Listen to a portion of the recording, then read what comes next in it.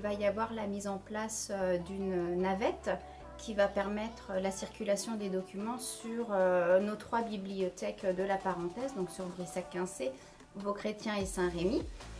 Donc les lecteurs en fait vont pouvoir emprunter leurs documents et les rendre dans la bibliothèque de leur choix. Donc ils ne seront plus imposés à j'emprunte à Brissac, je rends à Brissac. Ils pourront la rendre sur l'une des trois euh, bibliothèques.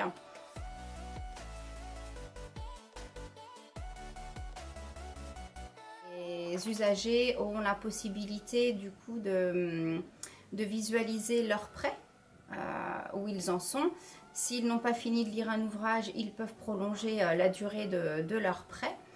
Euh, sur le site, euh, il y aura également toute l'actualité euh, culturelle des bibliothèques, les infos pratiques telles que les horaires, les vacances, les animations qui pourront être proposées à diverses dates.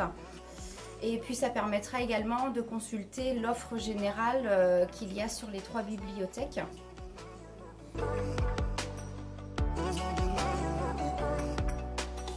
de novembre, il y aura donc la mise en place euh, de ces navettes donc pour la circulation des documents sur les trois bibliothèques.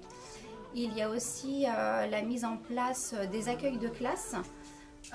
donc ce sera pour cette année les écoles maternelles et élémentaires de Brissac-Quincé. Et à partir de 2023, fin 2023, il va y avoir la mise en place du bibliobus qui va permettre en fait la circulation d'un fonds euh, de documents vers les écoles euh, des communes qui ne sont pas dotées de bibliothèques.